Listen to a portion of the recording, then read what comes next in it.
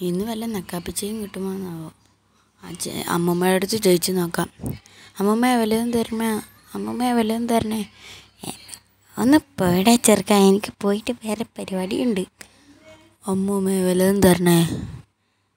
അന്ന് പോകാനല്ലേ ഞാൻ പറഞ്ഞു. എനിക്ക് പോയിട്ട് വേറെ പരിപാടിയുണ്ട്. ആ കറുത്ത ചേട്ടനോട് ചോദിച്ചു നോക്കാം വല്ലതും തരുമോ എന്ന് ചേട്ടാ വല്ലതും തരണേ ഒന്ന് പോടോ. എനിക്ക് വേറെ പൊറോടുണ്ട് പോട്ടോ. എല്ലാവർക്കും എല്ലാവർക്കും ഈ പരിപാടിയാണല്ലോ. ഈ ചേട്ടനെ എന്താന്നോ?